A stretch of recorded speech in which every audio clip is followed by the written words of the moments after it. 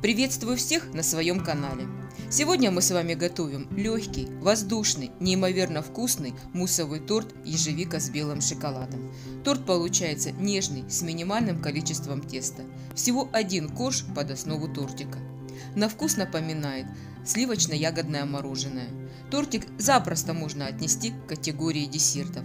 Я не стала заморачиваться с выпечкой единственного коржа и использовала готовый корж.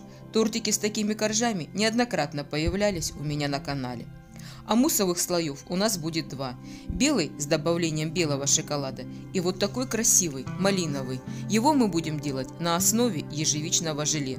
Как делать такое желе, у меня есть уже отдельное видео, и ссылочку на него вы сейчас видите на экране. Также она будет в описании под видео.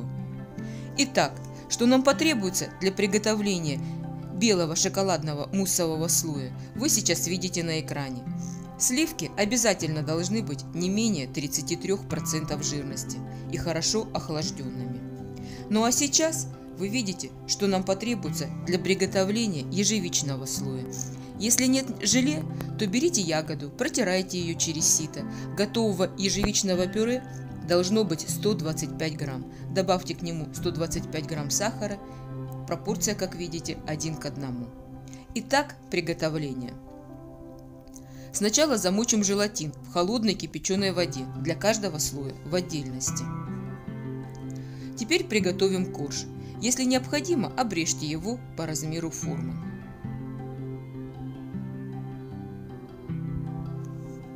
У меня разъемная форма диаметром 23 сантиметра. Можно взять и неразъемную, так как мы будем выстилать ее целлофаном, чтобы было удобно вынимать торт из формы и чтобы целлофан оставил нам на боках рельефные э, полосы, ну, так скажем, декор. Обязательно подложите подложку из картона, которая будет удерживать форму торта при транспортировке его на блюдо. Теперь ложим корж и пропитываем его пропиткой. С пропиткой я тоже особо не мудрила. Взяла одну столовую ложку сгущенки и одну столовую ложку кипяченой воды размешала и этим пропитала корж. Вы можете сделать, допустим, какао или ягодный сироп и этим пропитать корж. Вот теперь делаем первый муссовый слой. В чистую сухую чашку наливаем охлажденные сливки. Прям специально добиваться ровно 300 грамм сливок не обязательно. Если нальете чуть меньше, не страшно. Остальная порция э, из баночки пойдет в ежевичный слой. И начинаем взбивать сливки. Сначала на малых оборотах, постепенно увеличивая их. Следите за тем, чтобы сливки не перевзбить, можно, может отслоиться масло.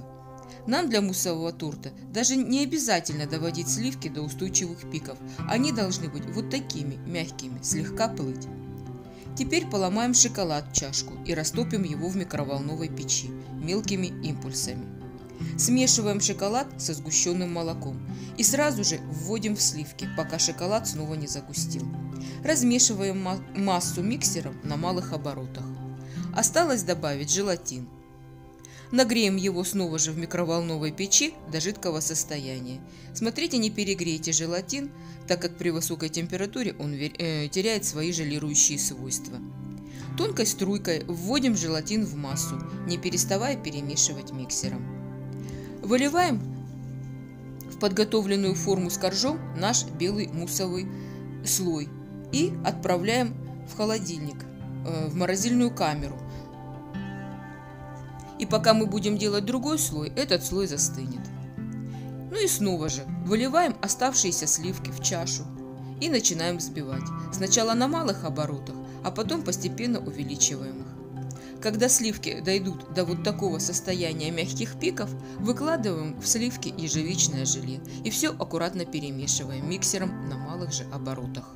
Ежевичное желе, если у вас нет готового, сделайте заранее. Кстати, вместо ежевики можно взять малину, клубнику или другую ягоду. Теперь добавляем растопленный желатин и окончательно все хорошо перемешиваем. Видите, какой красивый, насыщенный цвет получается. К тому же это очень и очень вкусно. Достаем из морозилки форму и выливаем на застывший белый муссовый слой, ежевичный, и снова убираем все в холодильник, ну, в морозильную камеру до полного застывания коржа. Сверху я решила украсить торт зеркальной шоколадной глазурью. Я эту глазурь делаю без всякого там инвертного сиропа или, гру, или глюкозы, а зеркальная поверхность получается ничуть не хуже. Делать эту шоколадную глазурь очень легко, хранится она в холодильнике очень долго, и когда нужно, отрезали необходимый кусочек от массы глазури, растопили и покрыли им торт или другую выпечку. Ссылка на это, ссылку на этот рецепт вы тоже сейчас видите на экране, также она будет в описании под видео. Если у вас нет э, заранее глазури, то можно просто растопить шоколад, смешать его один к одному со сгущенным молоком и этим покрыть сверху э, тортик слоем где-то в 2 мм.